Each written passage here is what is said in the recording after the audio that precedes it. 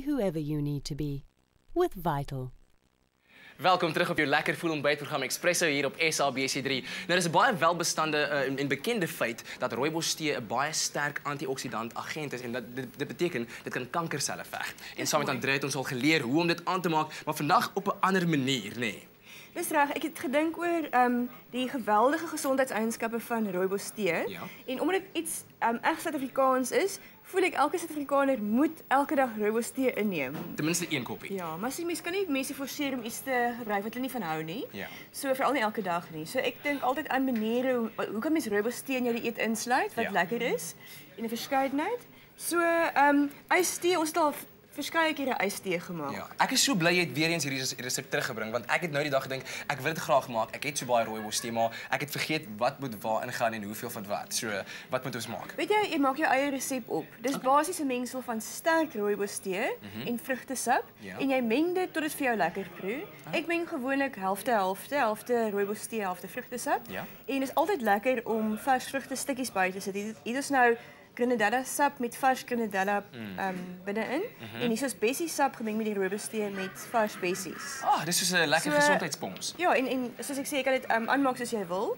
Ehm um, die ander ding wat jy kan doen nou in die somer terwyl dit warm is, is yslollies. Yes. So hier het ons nou 'n voorbeeld van die um, rooi um, bessie sap, ag die die bessie sap en die rooibos tee en daar is die grenadella. Okay. En dan iets wat ek dink gevind het vir my werk want ek hou nie baie van rooibos tee se smaak nie. Ek sal dit nie so gereeld drink nie, maar iets Okay. wat ek versot op is op die oomblik is koue 'n um, melkerige rooibos tee met speserye want ek hou baie van chai tee. Ja? Mm. Ek het nou die dag gehoor chai is eintlik die Indiese woord vir tee. So as jy sê chai tee, dan sê jy Ja. tee tee. Okay. Ja, maar um, hoe ons eintlik bedoel dan is die die spesery tee. Wat ja. Ja. Okay, en hoe maak mense dit dan aan? Want ek ek sien jy het, het 'n paar speserye Weet ek hierso. um, sterk rooibos tee wat aangemaak is Mhm. en as mens die yslollies en die um, vrugte of die die um, mengsel van vrugtesap en die ystee maak, dan maak ek altyd die rooibos tee baie sterker. Mhm. Alright. So byvoorbeeld op um, twee koppies water sal ek vier sakkies tee insit, want dan kry jy meer van die gesondheidsekstrak daarin. Mhm. Ja, ja. So wat ek nou hier het, ehm um, o, as jy die yslollies gaan maak, Mhm. moet mens dit gewoonlik 'n bietjie soeter maak as wat jy sou vir ystee. Want anders ja, ek jy sal dit te waterig as dit net gewoonweg ja, is. okay, goed. Alright, so jy So het ek nou 'n nou lekker lepel heuning Okay. En daarbey sit ek rooibos tee. Aha. Ek sou voorstel dat mense los eers die heuning ordentlik op. Yes. Maar ons het nie nou tyd daarvoor nie, want dit is nou koue tee wat ek nou hierso het. Sou miskien goed gewees het om die ehm um, heuning in die ehm um, teepot te gooi. En daarbey sit ek melk Ooh, okay. en amper ek is amper helfte. Uh melk. en dan weer eens volgens smaak sit jy ek gaan hom so sommer so ek dink jou eintlik bietjie smaak. oopmaak na jou smaak, ja. Ehm um, heel wat, dit is, is dit? gemmerpoeier. Okay. Ginger powder. Ja. Mhm. En ehm um, kaneel gaan ek baie lekker. So dis ongeveer 'n teelepel van elk wat ek hier insit. Mhm.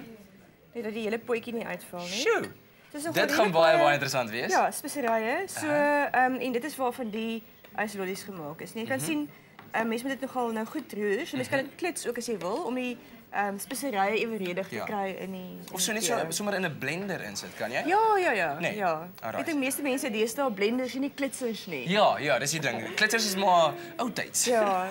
So wat ek wou sê spesifiek is ehm um, hierdie Sondag Ja? op hulle dokter is daar insetsel spesifiek oor ehm um, kanker en dieet aanbevelings oor hoe om jou risiko vir kanker te verminder. Ehm um, so mense wil nie sê rooibos tee is dit kanker gaan genees nie want dit gaan dit nie doen nie, maar as daar familiegeskiedenis is van kanker is rooibos tee iets wat ek dink mense elke dag moet neem. Daar sê Andreas soos altyd baie dankie en waardeer dit hoor. Goed, En jy is nog aktief op, op uh, Facebook nee. Ja, Sy is baie inderdaad as jy enige vrae het, gaan vra hulle gerus op haar Facebook bladsy Andrea Du Plessis Vital Expert. Dis tyd om uit te vind wie jou wenners is. Ons het daai Ellie koffiemasjien en ook 'n Sasco prys om weg te gee. Bly saam met ons.